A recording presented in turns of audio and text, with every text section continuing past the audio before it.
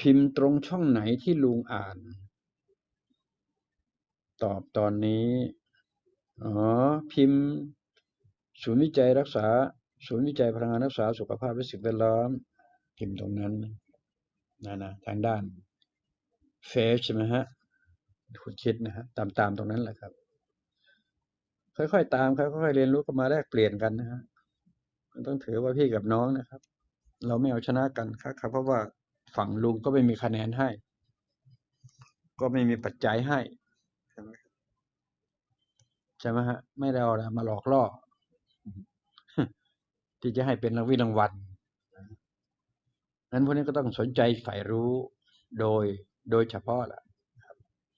เพราะว่าที่นี่ไม่มีได้ไม่มีเสียประมาณนั้นลุงก็ไม่ได้ท่านก็ไม่ได้เสียใช่ไหมฮะ เมื่อท่านไม่ได้เสียไอ้ท่านก็ได้ไปสิเท่านั้น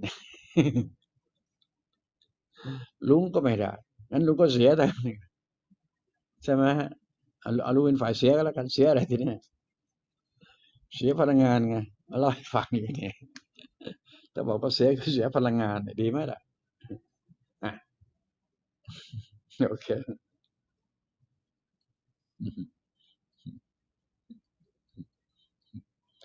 หมายถึงต้องได้อรหันต์จิตจึงบริสุทธิ์ นะ ยากมากครับ มันเป็นอย่างนี้ มันต้องจิตบริสุทธิ์เท่านั้นจึงจะรู้คำว่าอรหันต์โอเคไม่ใช่ได้อรหันต์นะเออ จิตต้องบริสุทธิ์เท่านั้นจึงจะรู้ ภาวะอรหันต์เป็นเช่นใด โอเคไหมครับ ใช่นะ ถ้าว่าถามมาอย่างเงี้ยอ้าวก็จะกลายเป็นเอ้ยลุงหงอกก็พระอรหันต์เสียงแบบนี้ ได้ไหมใช่หรือเปล่า ฟังใหม่ครับ คุณผิดนะฮะที่พุทธมนต์ทั้งหมดหมายถึงต้องได้อรหันต์จิตจึงบริสุทธิ์ ยากมากครับลุง ส่วนลุงบอกว่า จิตบริสุทธิ์เท่านั้นจึงจะรู้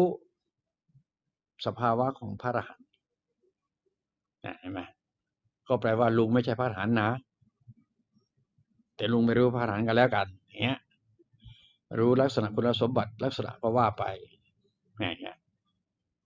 โอเคไหมไม่ใช่ ฉันคือพระอรหันต์โว้ยไม่ใช่เลยครับมันคนละเรื่องนะอย่างนี้อย่ามาคุยกับลุงแมวนะ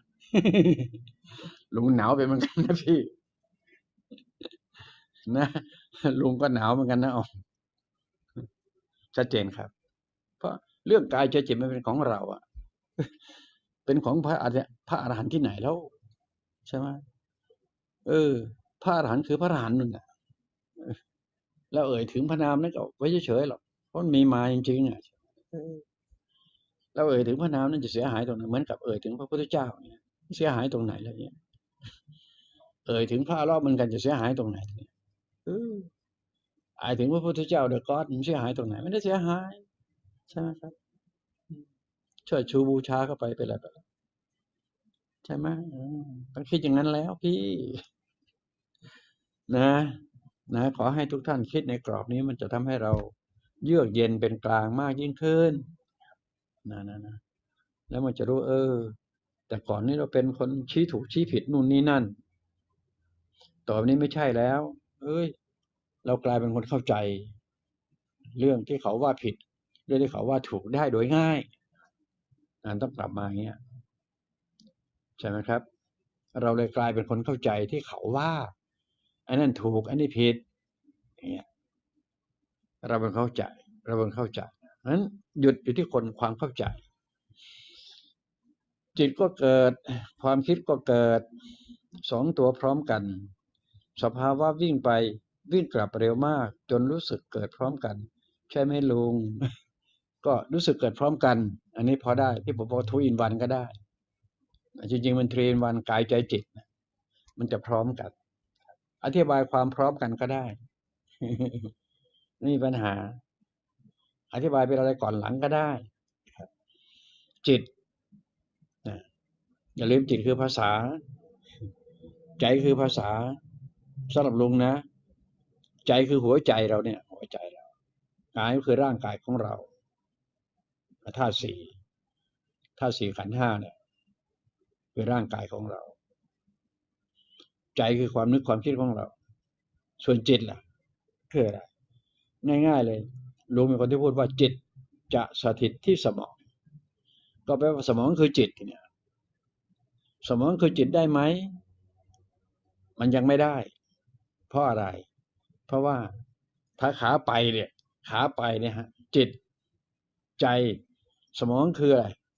คือเครื่องบันทึก เช่น เรามองเห็นอะไรก็ตามเห็นควายกลางทุ่งเขาเรียกว่าเข้าตา เข้าตา ควายมันเข้าตาเรา หรือเรามองไปเห็นควาย มันก็เหมือนกับควายเข้าตาเรานั่นนะครับโอเคไหมเออเรามองเห็นควายกลางทุ่งควายมันเข้าตาเราทำนองเดียวกัน action จะเท่ากับ reaction ควายเข้าตา เข้าตาก็สู่ใจ ใจเป็นตัวที่รับนะครับ ใจนะไม่ใช่สมองนะรู้ไว้เข้าตาสู่ใจ สมองบันทึกแก๊กมันเร็วมากอ๋อจึงได้รู้ว่าเป็นควาย เหมือนกับเราเรียนหนังสือกอไก่เหมือนกันเราเห็นตัวกอไก่ ครูบอกว่ากอไก่เอาไก่ก็ไก่วะ อาตาเห็น ตาเห็น ซ้ำแล้วซ้ำอีกกอไก่กอไก่กอไก่นะมันก็เข้าตา ก็ตามองเห็นนะก็คือเข้าตา ตรงนี้มันจะเท่ากับ action จะเท่ากับ reaction นะยกเว้นคนในที่รับรู้รู้ช้า มันก็รีเลย์ไปรีเลย์ก็เรียนช้าไป รับรู้ช้าไป คนที่เร็วคือเร็ว ทำนองนี้มันก็รับแตกต่างกันแต่ละคน เอาเป็นว่าเข้าตาสู่ใจสมองบันทึกแก๊กเนี่ยเขาเรียกว่าขาไปบันทึกหมด แต่ขากลับที่เนี้ยจิตจะสถิตที่สมอง ก็แปลว่า สมองต้องว่าง สมองจะว่างได้ ใจต้องหยุด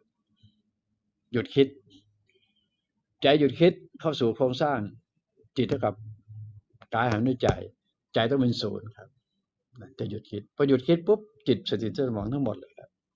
สมองนี่เป็นส่วนรวมของ เป็นส่วนย่อของจักรวาลนี้ด้วยครับ สมองเราเนี่ยสมองเราคือส่วนย่อของจักรวาลที่จักรวาลนี้ที่มีดวงที่เป็นศูนย์กลางในภาษาลุงนะครับ ภาษาลุงกิ๊กก๊อกสมองคือส่วนย่อของจักรวาล ยังไม่พอ สมองเราเป็นส่วนย่อของตัวเราด้วย ยังไม่พอตัวเราเป็นส่วนย่อของโลกใบนี้ด้วย เทียบขนาด ตัวเรามีขนาดเท่ากับหนึ่งนิวเคลียสเห็นไหมไปดู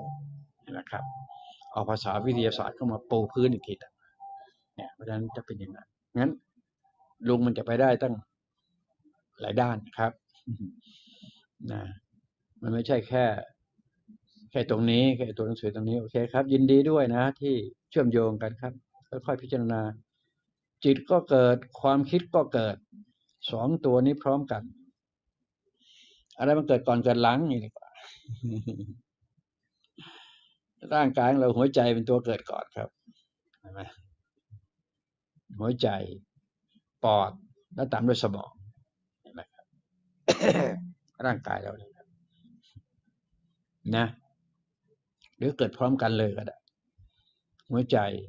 ปอด สมอง เกิดโป๊ะครั้งเดียวทรีอินวันเลยนะครับ ถ้าเป็นภาษาก่อนหลังคือหัวใจต้องเกิดก่อน เกิดขึ้นมาในวินาทีของการปฏิสนธิระหว่างสเปิร์มฝ่ายพ่อและไข่ฝ่ายแม่มาจะเอกัน อยู่ในอาณาบริเวณเนี่ยอยากจะรู้ก็ไปถามแม่เองแล้วกันถามลุงลุงก็ตอบไม่ได้หรอกโอเคเนาะค่อยๆพิจารณาตามตรงนี้ ทั้งหมดก็คือเรื่องตัวเราทั้งนั้นที่ว่าเนี่ยครับจิตส่งถึงความคิด เกิดดับ โอ้ไม่ได้แล้วก็แปลว่าอ่านตำรามาเยอะก็แล้วกันเนาะคุณคุณคิดนะฮะอ่านตำรามาเยอะ หรือก็ฟังผู้เกิดก่อนมาเยอะก็แล้วกัน ภาษาพวกนี้ภาษาภาษาเก่าทั้งนั้นนะพวกนั้นนะจิตส่งถึงความคิดเกิดดับ อยู่ระหว่างเกิดไป อยู่ระหว่างเกิด มันมันก็ได้นะเกิด